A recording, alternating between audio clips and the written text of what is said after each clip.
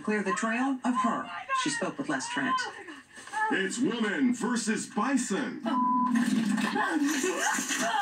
I was way too close. Rebecca Clark was hiking in a Texas state park when she came upon a herd of bison. I'm gonna try to see if I can make it by.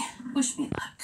She waits for the majestic beast to pass and proceeds to engage in a friendly conversation. All right, guys, get going. Go over there to your babies so that I can get by.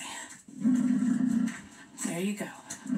Keep going. Why didn't you just turn around? I just thought, well, I'd already passed him two miles ago, and then I came back through and I felt confident about it. At first, the bison appear to ignore her. Thank you. I appreciate it. But as Rebecca gets closer, one bison turns and growls before charging her. She drops her phone as the beast gores her in the back, sending her right into a thorny bush.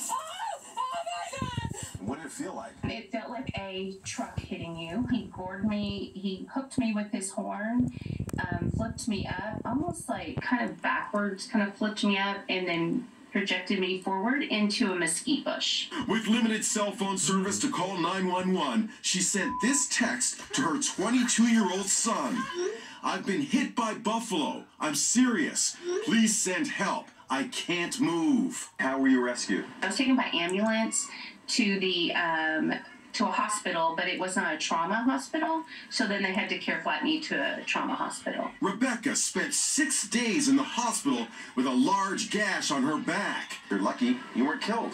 You're absolutely right. You're absolutely right. And I have no injury to my organs. Um, it is strictly just a gash.